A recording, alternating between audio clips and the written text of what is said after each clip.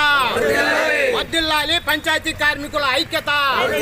రద్దు చేయాలి టెండర్ విధానాన్ని. రద్దు చేయాలి టెండర్ విధానాన్ని. చెల్లించాలి తొమ్మిది నెలల వేతన బకాయిలు. చెల్లించాలి తొమ్మిది నెలల వేతన బకాయిలు. వర్దిల్లాలి పంచాయతీ కార్మికుల ఐక్యత. కల్పించాలి కార్మికులకు పిఎస్ పిఎఫ్ ఈఎస్ఐ సౌకర్యం. కల్పించాలి కార్మికులకు పిఎఫ్ ఈఎస్ఐ సౌకర్యం. ఐక్యత. వర్దిల్లాలి పంచాయతీ కార్మికుల ఐక్యత. పంచాయతీ కార్మికులకు గత తొమ్మిది నెలలుగా జీతాలు లేక మరి చాకిరీ చేసి మరి పెరిగిన జీతాలకు ఏ విధమైన సంబంధం లేకుండా మరి ఇప్పటి వరకు తొమ్మిది నెలల వరకు జీతాలు లేక పంచాయతీ కార్మికులు అల్లాడిపోతున్నారు. అందుకు మేమందరం మరి ఐక్యంగా ఈ తొమ్మిది నెలల జీతాలు సాధించుకోవాలని అదేవిధంగా టెండర్ విధానాన్ని రద్దు చేయాలని ప్రభుత్వం ప్రభుత్వాన్ని ప్రభుత్వానికి విజ్ఞప్తి చేస్తున్నాం. మరి మేము చేసే ఈ వెట్టి చాకిరిని మరి ప్రభుత్వం గుర్తించి మాకు సకాలంలో జీతాలు చెల్లించి మరి మాకు పిఎఫ్ ఈఎస్ఐ సౌకర్యం కల్పించాలని మరి కార్మికుడు చనిపోతే ఏ విధమైన మరి ఆసరా లేకుండా వీధి కుక్కని ఏదో పారేసినట్టుగా మరి కార్మికులకి సరైన ఆసరా లేకపోవటం వల్ల మరి ఈరోజు పంచాయతీ కార్మికులు ఎన్నో ఇబ్బందులు ఎదుర్కొంటున్నారు. మరి అన్ని ధరలు పెరుగుదల ఉండటం వల్ల మరి పంచాయతీ కార్మికులు ఈ రోజుకి ఎప్పుడైతే పంచాయతీలో చేరాడో అదే జీతంతో ఇప్పటి వరకు పనిచేస్తూనే ఉన్నారు. మరి ఇరవై సంవత్సరాలు పాతి సంవత్సరాల నుంచి పనిచేస్తున్న కార్మికులకి అదే జీతం ఇస్తూ ఉన్నారు.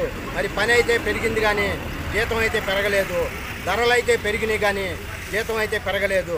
కాబట్టి ప్రభుత్వం ఎప్పటికైనా మా మా యందు దయ ఉంచి మాకు రావాల్సిన వేతన బకాయిలు చెల్లించి మరి మాకు పిఎఫ్ ఈఎస్ఐ సౌకర్యం కల్పించాలని అదేవిధంగా టెండర్ బేసిస్ టెండర్ బేస్ విధానాన్ని రద్దు చేసి మరి మాకు సరైన రక్షణ కల్పించాలని చెప్పి మేమందరం పంచాయతీ కార్మిక సంఘం తరఫున హరిత రాయబారులు కూడా సమాన సమాన వేతనం కనీసం పదివేల రూపాయలు గౌరవ వేతనం వారికి ఇవ్వాలని చెప్పి మేము ఇక యూనియన్ పూర్వకంగా మేమందరం కలిసి సమైక్యంగా దీనికోసం పోరాడుతున్నాం.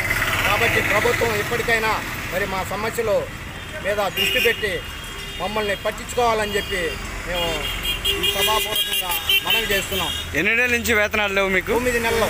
తొమ్మిది నెలల నుంచి. అధికారులను అడగ అధికారులని అడగలేదా? ఆ అధికారులను అడిగాము. అయితే ఇప్పటికీ ఇస్తాము.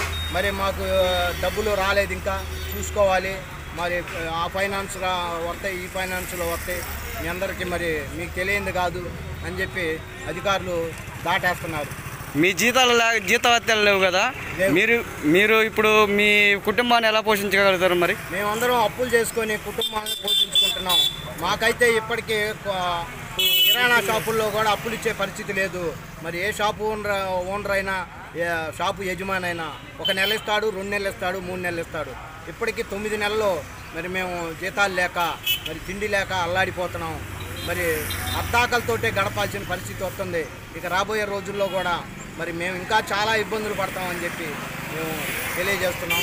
కావున ప్రభుత్వం వారు ఇప్పటికైనా కన్ను తెరిచి మా యొక్క సమస్యలను విని మరి మాకు రావాల్సిన జీతాలు చెల్లించి మమ్మల్ని ఆదుకోవాలని చెప్పి మేము మనవి చేస్తున్నాం. ఇట్లు పంచాయతీ కార్మికుల ఐక్యత ఫిరంగిపురం గ్రామ పంచాయతీ ఎంప్లాయీస్ యూనియన్.